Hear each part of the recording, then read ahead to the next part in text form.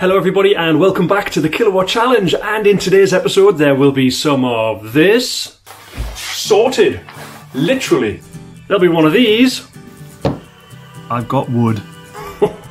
will I get away with that? and there'll be some of this. Yes, I do look like a muppet in these glasses. But before all that, make yourself a nice cup of tea, sit down, and enjoy the show. So if you're new to my channel, a very warm welcome to you and the background and the reason for all this shenanigans and road trips and flying all over the world and batteries and all that other stuff is because I'm first of all trying to build a homemade DIY Tesla style Powerwall using thousands and thousands of batteries. I'm going to be installing a pretty big solar array on the house, hopefully somewhere around about 10 kilowatts. Uh, and I'm going around the house and making everything significantly more energy efficient, including a heating system, which is very likely to be a very, very clever log burner, and I'm dying to show you guys that. So, if you're interested in all that, please don't click. Please do click the subscribe button. What am I talking about? Anyway, on to today's content. So as you can see behind me over here, in terms of getting batteries recycled, reclaimed, tested and stuff like that, I'm getting on with it now. Got quite a few. So I thought it might be an idea if I share my top tools tips, God that's cheesy, for DIY power wallers. Come on, take a look. So if you fancy building some of these, the first thing I recommend you get a hold of is one of these. These are absolutely brilliant. It's a heat resistant kind of work pad thing made out of very heavy plastic. Um, it's self healing, so they say if you cut it with a knife, um, then it will somehow heal. It's obviously two sided, and look how clean it keeps your workbench. Highly recommend one of these.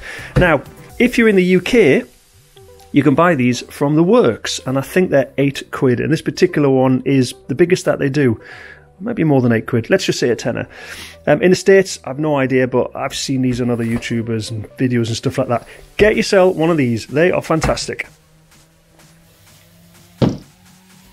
A good set of sturdy, strong, proper pliers. Now you're gonna you're gonna use these a lot. These are gonna be like your best friends because if you get a good set. Nice bit of product placement, look at that. then when you're opening your batteries, having a good set of tools really, really makes a difference. Oh, Sanyos, look at that. Red cells. That feeling when you pop open a battery pack and the cells are red. Anyway, so a good set of proper pliers. A proper, and I mean proper, pair of gloves not this type. We all like these types, don't we? They're dead thin, they're really comfortable to wear, they're just too thin. And let me show you why. So here is an 18650 cell. This is the whole point of the whole DIY Powerwall project thing. We're all trying to harvest these out of laptop batteries. Now, the reason why we wear gloves is because obviously there's shards of plastic and here's a little bit, just doesn't look like much but they're absolutely everywhere. And I think if you're going to try and partake in this, is it a hobby? Why do we do this? um, then you've got to just accept the fact that you're going to have these absolutely everywhere. And also, you've got to accept the fact that when we're cleaning the ends of the batteries, occasionally you're going to be left with, and I think you can see that, you're going to be left with one of these. Can you see on the end of the cell that very, very small piece of nickel strip? That is razor, razor sharp. Now, when I started doing this, I wore thin gloves like this because they were just more comfortable, it's easier to hold tools, etc. But it didn't take long before I got absolutely cut to shreds. And I could show you this, even with that little tiny bit of nickel there. Can you see it? Ooh, watch this. If I can try and just put that inside there. Uh, are we on the glove? No, we're not quite on the glove there yet. There we go.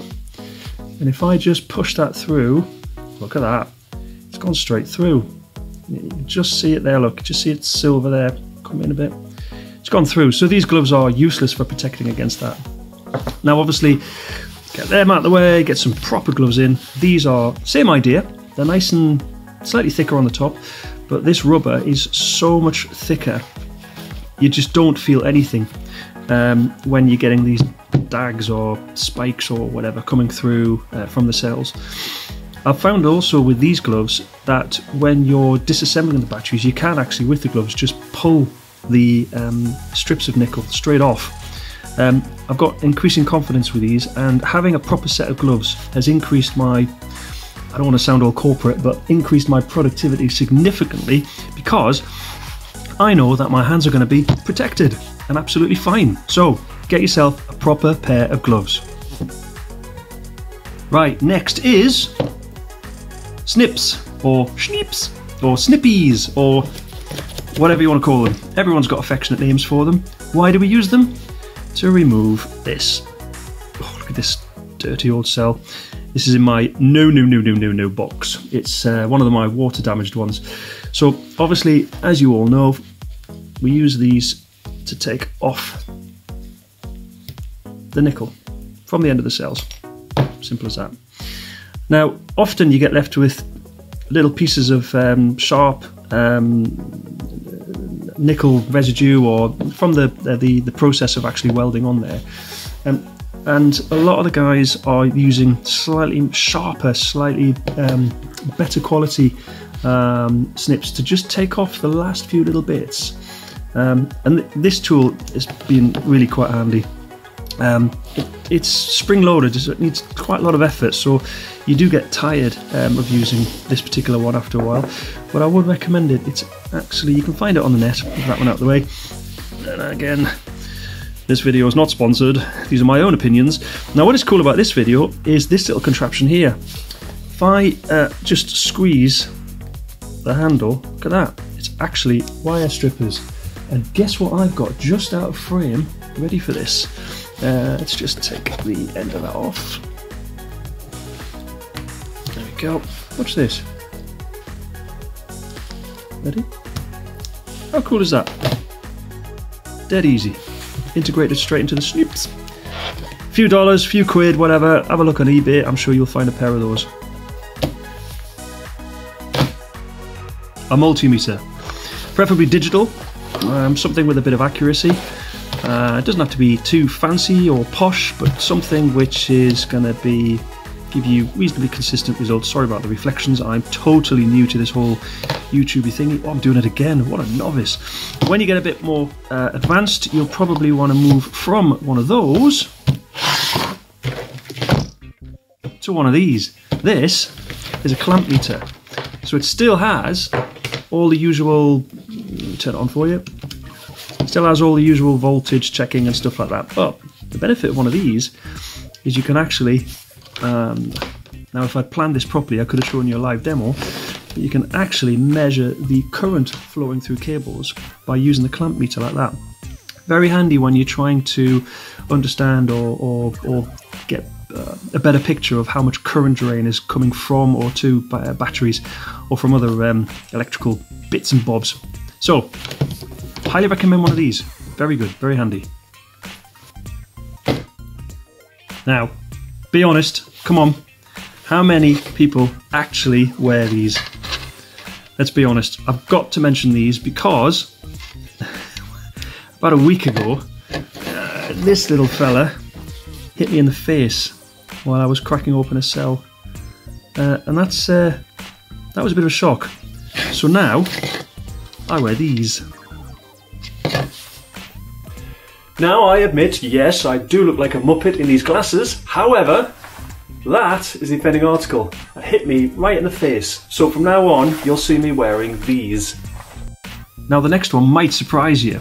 Would anybody like to guess why I've got wood? Cheesy as, yeah, I know. Anyway, good fun. It's great YouTube content. I'll show you. Um, when we uh, process the cells, we keep talking about these little sharp bits on the end. It's really nice, or really handy, sorry, to just be able to tap down any last sharp remnants of nickel. And you'll notice actually that this piece of wood is well worn down now. I was doing it on the workbench um, when I first started, but I realised that it, it is actually damaging my workbench. So just any old piece of wood Doesn't cost out, does it? And next, you're going to need one of these. A good sharp knife. A really, really good sharp knife. The uh, battery packs are absolutely full of tape. Electrical tape, um, foam insulation tape, um, all sorts of stuff. So a good sharp knife to be able to cut away a lot of the packaging and protective stuff um, is absolutely essential. Now you might laugh at these, but I'm going to show you anyway. These are really handy. For those of you of an age, like myself, whose eyes are beginning to go, I picked up these.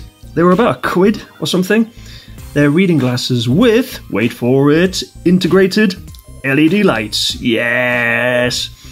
These have been really, really good. And if you don't need glasses or whatever, get yourself a head torch. Having the extra little bit of light when you're trying to look down into the insides of a crevice or something like that, trying to get a battery pack open, is dead handy. And next, proper little flat bladed screwdriver.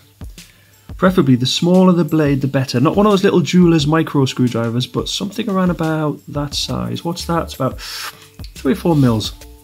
Let me show you why. Here is a battery I made earlier. Again, this is one of my hell no batteries, as you can see. Nasty water damage. Um, I use these to get started when I'm trying to remove. Come on, Darren, put it in the center of the frame. Such a noob. when I'm trying to remove the nickel strip, there's nothing to get started on. So what I do is I use the, the, the tip of the screwdriver to just lift up the nickel like that. And that's just enough to get my little snips in there.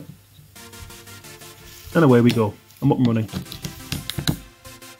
Very, very handy. Very, very handy. And I'm sure we've all got one of those, haven't we? So when you've managed to get the cells out of the batteries and you've tested them, you're going to need one of these to write the capacities on the cells. A Sharpie, a proper good Sharpie. And the last one might surprise you. I highly recommend you get yourself three small cardboard boxes. Why? Come on, I'll show you. Here we go, number one. Check this out. That is full of nickel strips BMS boards, bits of electronic circle, circles, circuitry, uh, and all stuff ready to be recycled. Full to the brim of it. Surprising how much that's worth in the right hands. Number two, hard plastic. In here, you'll only find the outer casing of the uh, laptop batteries when I'm breaking them apart. You produce a lot of this, a lot of this. And the last one is just for general waste. This is for the all the bits of tape and just rubbish that comes off. That's heat shrink, uh, lots of foam insulation. Put that all into there. That's kind of general waste. Now, why small boxes? Because when you're in your man cave and you're processing your batteries, to start with, I had big bin bags all around me and stuff stacked everywhere. It just didn't work, it was too much. So I've got, behind the camera, I've got the big bin bags and the big boxes full of all the recycling stuff. But while I'm here on the workbench, I like to just have these small boxes. And once they're full, I just transfer it and dump it into the bigger boxes. Works really well. That is a pro tip. And now, I'm going to show you that in action. So, here's the battery pack that we looked at earlier on. Get my big pliers into here. Oh, plastic flying everywhere. That's why you wear your goggles. ripping it apart. Okay, that's a nice piece of hard plastic. That goes straight into recycling in that one there. Get some cells out. Another piece of hard plastic. Straight into that one there. Now, this is all tape and stuff I was talk, talking to you about earlier on. You kind of, you see that? If you're new to this, this is going to be a proper pain in the side for you, this tape. If you're a seasoned power waller, you know this stuff very well, don't you? this goes in that little box there. And inside the battery, like we talked about, we've got the circuit board. So if I just pull this apart this, here's the electronics inside. There we go. And that goes in the electronics box, like that. Sorted, literally. So that's it for another video. Uh, if you're interested in DIY power walls, reclaiming batteries, recycling laptop stuff, then you're gonna need at least some of these tools. The most important ones, I'd highly recommend as a noob myself, the gloves. Spend some money on a decent set of gloves and the goggles as well. I know they're uncomfortable, I know we don't like wearing them, but that was close. That hit me like literally there. So anyway, another video coming very, very soon. Don't forget to give me some of that. We all like to click that bell. Did you know that 33% of my subscribers are not, sorry, viewers are not subscribers? Go on, click that button. Go on, click it. Go on. Have you clicked it? Have you? Have you? See you on the next one. Bye bye.